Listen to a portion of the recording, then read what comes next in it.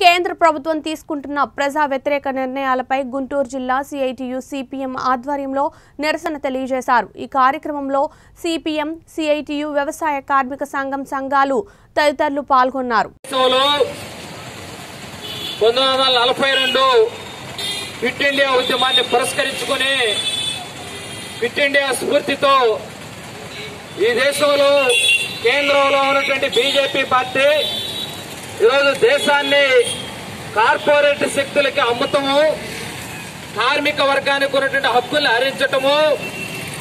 అట్లానే భారతదేశంలో తొమ్మిది నెలల కాలం నుంచి రైతాంగం పోరాటం నిర్వహిస్తామంటే ఈ పోరాటాన్ని పట్టించుకునే నేపథ్యంలో క్విట్ ఇండియా ఉద్యమం ఆ రోజు భారతదేశంలో బ్రిటిష్ పాలకులకు వ్యతిరేకంగా క్విట్ ఇండియా ఉద్యమం మా దేశాన్ని వదిలిపోండి ఈ దేశాన్ని తాకట్టు పెట్టడానికి మేము ఊరుకోమని చెప్పేసి ఫిట్ ఇండియా ఉద్యమం ముందుకు వచ్చింది ఆగస్టు తొమ్మిదో తేదీ పంతొమ్మిది నలభై రెండులో.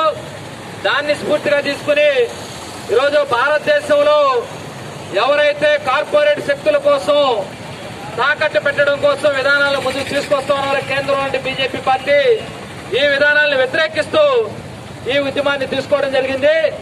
దీనిలో ప్రధానంగా ఈరోజు మనం చూస్తా ఉన్నాము వ్యవసాయ నల్ల చట్టాలను తీసుకొచ్చి రైతాంగాన్ని కార్పొరేట్ శక్తులు రిలయన్స్ అంబానీ లేదు ఇలాంటి పెద్ద పెద్ద వ్యాపారవేత్తలు తాకట్టు పెట్టడం కోసం వ్యవసాయ నల్ల చట్టాలు తీసుకొచ్చారు.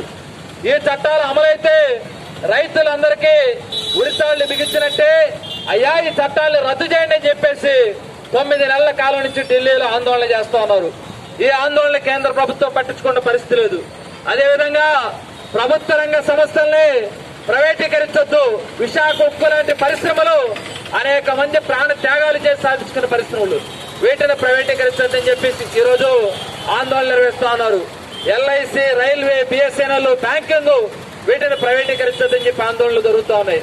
కానీ మేము ప్రైవేటీకరిస్తామని చెప్పేసి ఇప్పుడు జరుగుతున్నటువంటి పార్లమెంటు సమావేశాల్లో కూడా కేంద్ర ప్రభుత్వం ముందుకెళ్తా ఉంది. అట్లానే ఈరోజు మనం దేశంలో చూస్తా ఉన్నాము. ఈరోజు భారతదేశంలో కార్మిక వర్గం కీలకమైనటువంటిది. కార్మిక వర్గం అనేక పోరాటాలు చేస్తే కొన్ని హక్కులు వచ్చినాయి. కానీ ఈరోజు నలభై నాలుగు లేబర్ చట్టాలని నాలుగు లేబర్ కోడ్లుగా తీసుకొచ్చి కార్మికులు హక్కులు హరిస్తా ఉన్నారు. ఇవే కాదు ఈరోజు భారతదేశంలో చాలా కీలకమైన సమస్యలు ఉన్నాయి. అయా వ్యవసాయ కార్మికులు కానీ వీళ్ళందరికీ ఉపాధి చూపించండి. ఉపాధి హామీ కార్మికులకు పట్టణ ప్రాంతాల్లో కూడా పని చూపించండి. కరోనా కాలంలో లేని నేపథ్యంలో నెలకి ఏడు వేల వందల రూపాయలు డబ్బులు ఇవ్వాలని చెప్పేసి డిమాండ్ చేస్తున్నాం కానీ ఆ రూపంలో ముందుకు రావటం లేదు అట్లానే